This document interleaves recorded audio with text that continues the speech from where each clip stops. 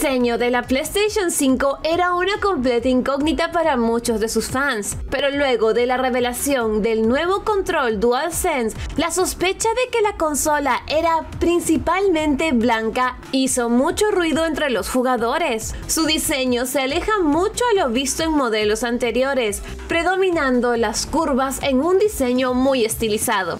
La presentación también incluyó una lista de juegos que serán exclusivos para la consola. Entre ellos tendremos Spider-Man, Miles Morales, Spider-Man fue uno de los títulos más aclamados para la PlayStation 4 debido a su dinámica jugabilidad y sus carismáticos personajes. Era lógico pensar que pronto tendríamos una continuación. Miles Morales es el protagonista de esta nueva aventura, que sigue la historia del título original. Insomniac Games ha declarado que es un juego independiente pero se encuentra en la escala de la secuela completa, por lo que es normal que esté listo para estas navidades. Demon Souls la saga Souls es una de las más aclamadas en los últimos años debido a su gran dificultad y personalidad.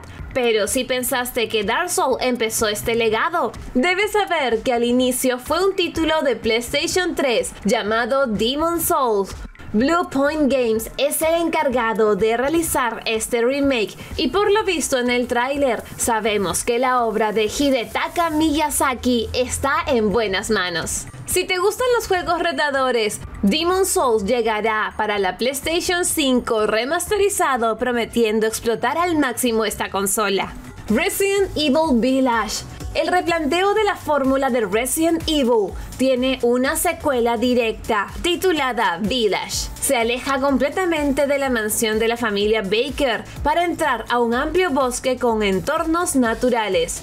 Ethan, protagonista de la entrega anterior, será nuevamente el eje de la historia y veremos cómo se relaciona con Chris Redfield, un personaje clásico de la franquicia. Resident Evil Village promete renovar nuevamente con este título y debido al tráiler mostrado, los desarrolladores están preparando una nueva evolución de la saga. Kena, Bridge of Spirits. Ember Lab es un estudio con gran experiencia en trabajos de animación y eso hace que Kena Bridge of Spirits sea un proyecto tan atractivo. A nivel visual es impresionante y su jugabilidad se basa en exploración y combate al lado de las pequeñas criaturas del bosque. Si bien es una propuesta enfocada a PlayStation 5, también podrá ser jugado para PlayStation 4, pero aún no existen detalles de la diferencia entre ambas versiones. Desde ya es uno de los títulos más comentados de la presentación.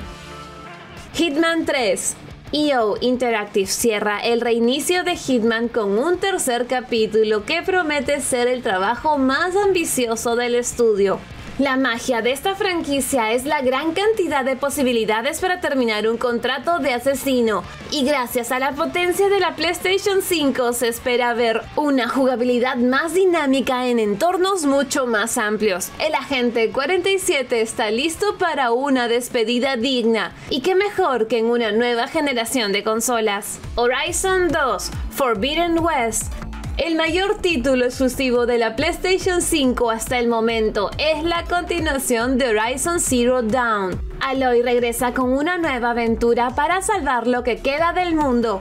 Esta aventura vuelve a hacer uso de la décima engine, propiedad de Guerrilla Games, pero a un nivel mucho más elevado para explorar la potencia y velocidad de la PlayStation 5 Aún no tenemos fecha de salida, pero ya es el juego más esperado para la nueva consola.